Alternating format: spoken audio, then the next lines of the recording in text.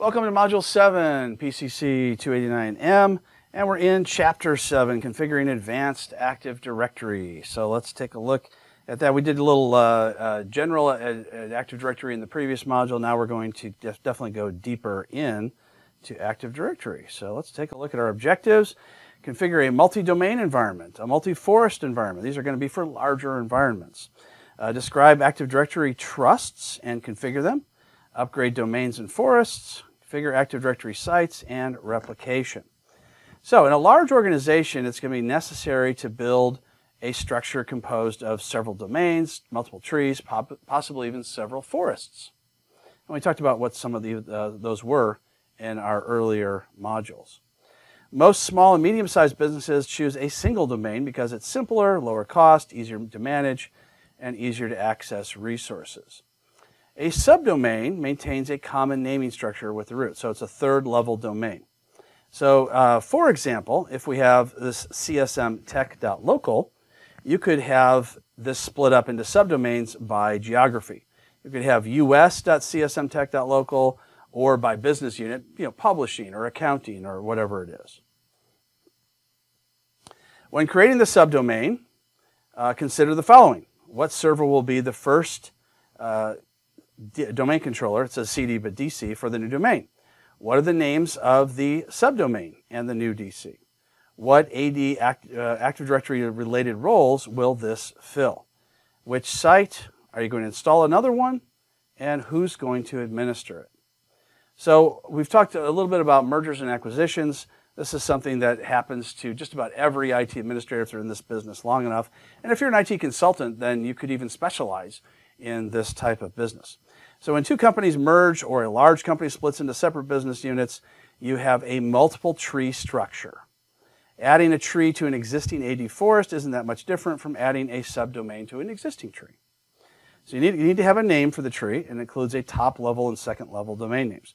So let's take a look here. We've got a forest of two trees. This is the same thing we've looked at in the past. And you've got the csm.local, uh, which is the parent, and the csm pub.local, which is another parent. So completely two different forests. And you've got the uh, child domains underneath it, which we were also referring to as subdomains. So don't get confused if you hear me say subdomain or child domain, they mean the same thing. They're just a, another name to the left of the fully qualified uh, domain name of csmtech.local. So we need to configure an alternate UPN suffix. So user accounts are assigned a suffix that's the same as the domain. So for instance, you've got GSM at csmtech.local, csmtech.local, that's your UPN. In multi-domains, you might want to configure multiple UPN suffixes to make logons easier. Trust relationships. It defines whether and how security principals from one domain can access resources on another domain, or one forest to another forest. So it's established automatically between all domains in this, the forest that you're in. AD trust can exist between domains and between forests. So users can access the resources across the domain without having to log in more than once. So you have to set that up correctly. Otherwise, every time you try to log into the other domain or the other forest, you end up getting prompted or denied.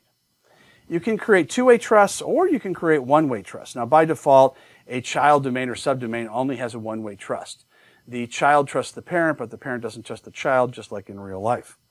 So a two-way trust allows for both, you know, to happen. So you can think of that as, say, a marriage, where the husband trusts the wife and the wife, wife trusts the husband. At least that's the way it should work. So um, you've got automatic trusts, which are configured between domains in an AD forest, and those are also two-way trusts. So both, both one-way and two-way trusts can be transitive or non-transitive, and that basically means whether or not they'll inherit that information. So you've got uh, domain A trusts domain B in our trust relationship. So let's define a transitive trust. If domain A trusts domain B and domain B trusts domain C, then what happens? Automatically, A trusts C. So by default, if you use a transitive trust, then that's what's going to happen when you add domain C in. Automatic trust relationships created between domains in a forest are transitive two-way trusts. Referral, the process of a DC in one domain informing a DC in another domain that it doesn't have the information about a requested object. So it requests a referral until it reaches that information. Let's talk about forest trusts. It provides a one-way or two-way trust between forests. Created between the root forest root domains of AD Forest running 2003 or newer. A forest trust is transitive, just like we talked about before. A and B, and then C drops in, automatically gets trusted. The trust isn't transitive from one forest to another, however. So all domains in one forest trust all domains in another, but it doesn't necessarily mean that uh, the trust isn't transitive from one to the other. So external trusts, one-way or two-way non-transitive trusts between two domains that aren't in the same forest. So generally, these are used in certain circumstances.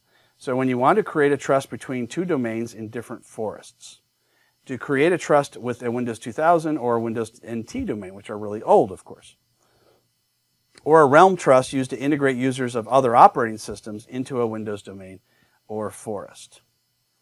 So an external trust is when you, you trust but verify. so it's a one-way or two-way non-transitive trust. So if A trusts B and B trusts A, then C is going to be trusted. Well, that doesn't happen in a non-transitive trust. So C is going to have to have its own trust set up. DNS must be configured so that the fully qualified domain names of all participating domains can be resolved. So when you do create these, um, these linkages between forests and domains, you've got to replicate the DNS zones as well. Otherwise, you're not going to be able to find each other. So you're need, going to need to, to manually add replication for these DNS zones from one domain to the other. So if there's no computer A in uh, the uh, company B, then you, you have to assume that that computer A is in the other domain and you need DNS to do that resolution. So before creating a trust, make sure you can resolve the fully qualified domain names by other domains by using the NS lookup or similar tool. Or you can just ping. You can just say ping and uh, you know uh, server a dot csm dot local. If you can get to that and that's in the other domain, then you know your DNS is set up right. If not, you need to add that replication to make that happen. All right, so let's take a look at the trust. This is where a trust gets set up between domains. Uh, you've got your uh, forest root.local, tree2.local, et cetera, et cetera, and you've got a transitive trust. So the transit, transitive we talked about earlier is in effect. And you do that through Active Directory domains and trusts in the Tools menu from Server Manager. So configuring a forest trust is very similar to creating a shortcut trust. So main consideration is making sure DNS is configured correctly in both the forest root domains. So there's three most common ways to configure a DNS for a forest trust. You have conditional forwarders, stub zones, and secondary zones. You can also configure DNS server to act as the root server for the DNS space. So um, a conditional forwarder is where you say, hey, if you're looking for this domain, go to that DNS server and you'll find it. Uh, stub zone says, hey, I don't have your information here, but that server over there has it.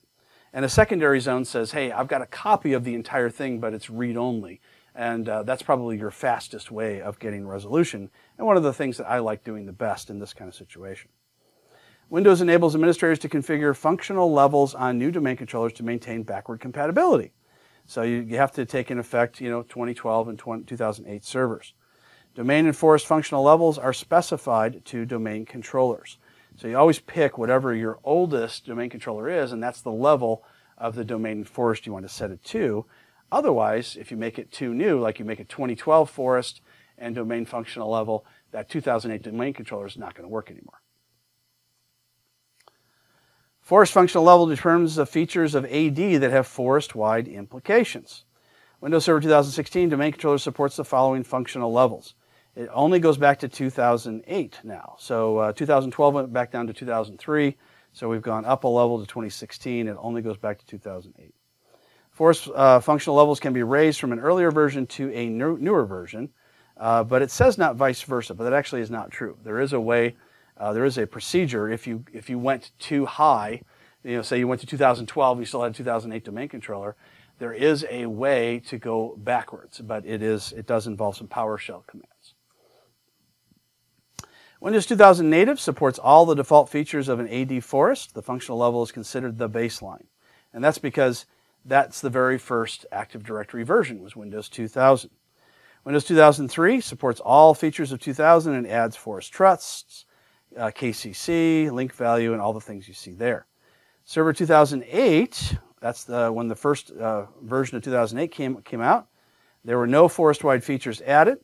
But 2008 R2 has all features of 2003 and adds the recycle bin. So that's where we first see the recycling bin is in 2008 R2. Windows 2012, no big features were, were changed. 22, I'm sorry, 2012 R2, uh, no new forest-wide features, but all DCs must be running 2012 R2 domain functional level. And in 2016, we have some additional changes. We have features added with the Windows 2016 Forest functional level with privileged access management, our PAM.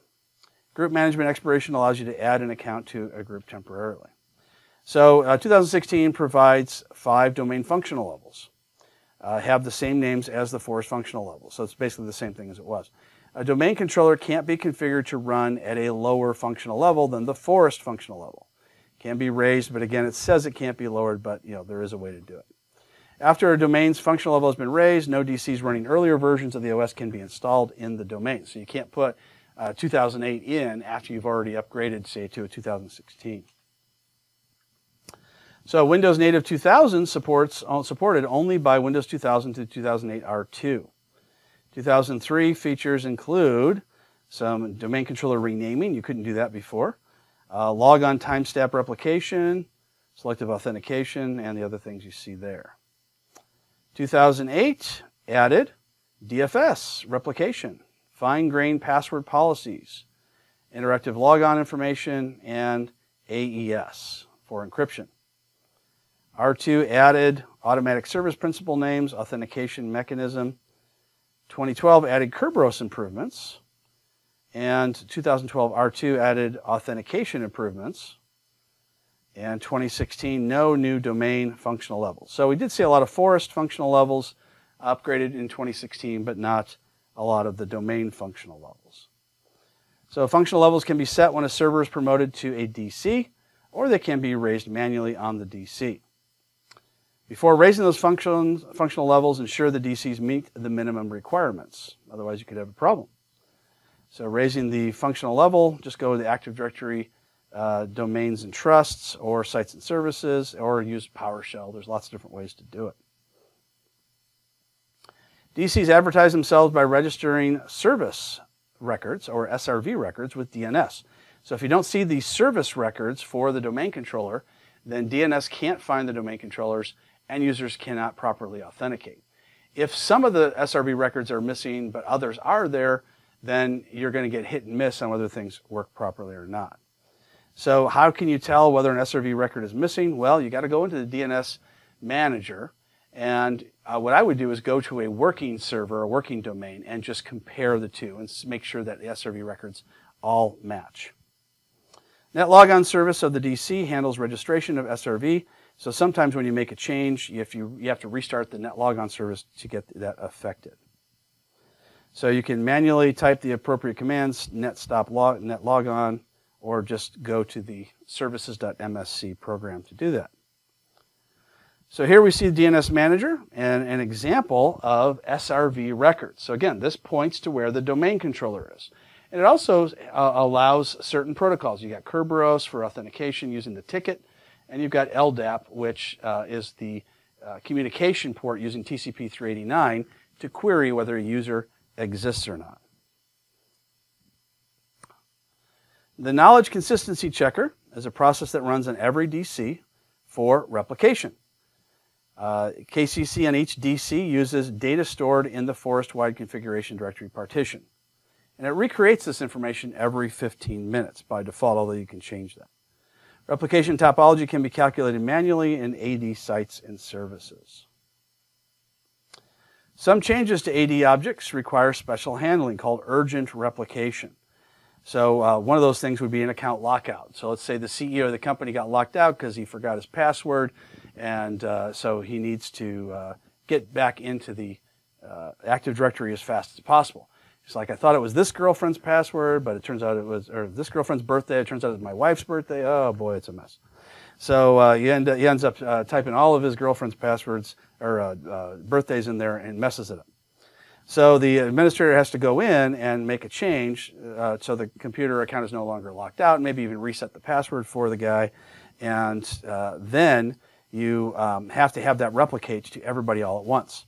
So when you, un- when you take a lo- an account off of lockout, it does what's called an urgent replication. It doesn't wait the 15 minutes to replicate to the domain controllers because you don't know which domain controllers he's going to authenticate to when he goes to log on. And then the user account password changes as well are also done that way. Uh, replication. So Active Directory sites and services can be used to force the KCC to check the replication topology. So you've got repadmin.exe. That's a tool that shows exactly what's happening and the replication status. So if you're like, hey, I don't know if this replication has happened all at once, what, how do I figure this out? repadmin is the way to do it. repadmin slash show repl. Uh, it can be used to show the partitions being replicated. It can force replication to occur, and it can force the KCC to recalculate the topology as well as other things.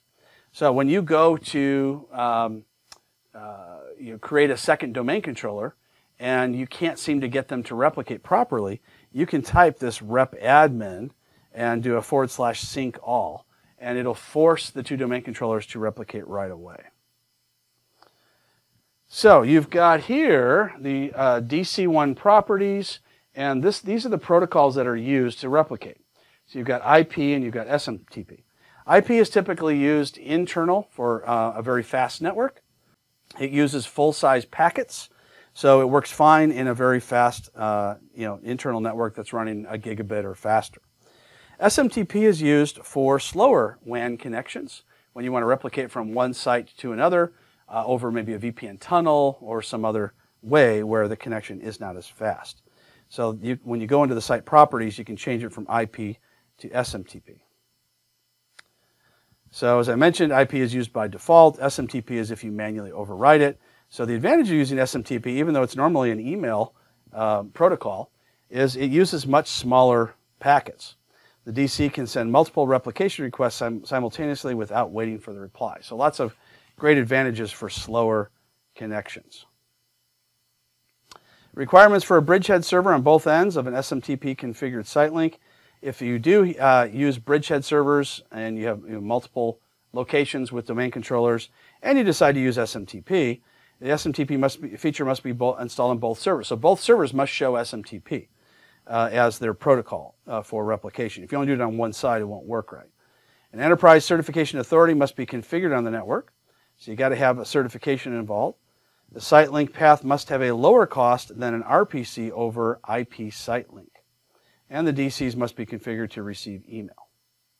So if you don't have port 25 open, through the firewall, then the replication can't happen. Even though it has nothing to do with email, port 25 is what it's used to uh, send and receive SMTP traffic.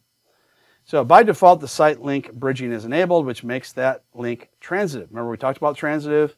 You can change the transitive behavior of the site links by turning off site link bridging and creating the site link bridges manually. Automatic uh, site bridging can lead to overutilization of a slower WAN link. So you may want to go in to the uh, where the, the sites are replicated and delete some of those site links so you don't end up with this mesh site link that causes uh, too much replication to happen and slows down the network. Sysvol replication. This is where the when you have global catalogs involved, and by default, all domain controllers are global catalogs unless you uncheck the global catalog box. So some crucial information for the domain operation is, st uh, stored in the sysvol folder. Actually, a lot of information. Sysvol replication uses the same replication using, using DFSR. So if you go into Active Directory sites and services, you go into NTDS settings of the server, you can choose to force a replication.